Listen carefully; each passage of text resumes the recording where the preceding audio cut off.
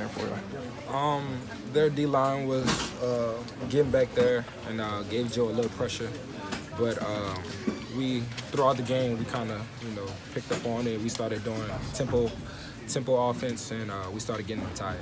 It seemed like the short game was a real big part of that, just to kind of nix their pressure, get there quick. Was that kind of? Um, they dropped uh, a lot of DBs, so uh, the you know the under routes, the little quick throws was open. So we'll take it as long as we get yards off of that.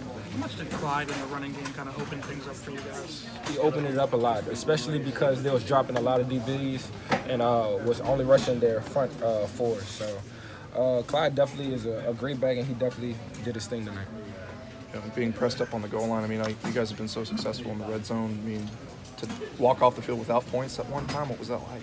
It's very frustrating, just especially to go through all that hard work getting down there and uh, not executing uh, fully. But uh, that's something that we need to work on. That's something that we needed to go back and film and look at and uh, you know get it fixed. Yeah, this is a you, know, you get this game. You've got um, undefeated, and you got Alabama next. I mean, what, what does it feel like this time around for you guys, and how do you feel like it's different this time? It's not different at all. I mean, we it, we haven't won in nine years, so I mean, this is the the best we've looked in a long time. So this year we're we're strong about everything. Uh, we just need to fix the things that we uh, made a mistake on tonight and uh, get it rectified. I mean, this is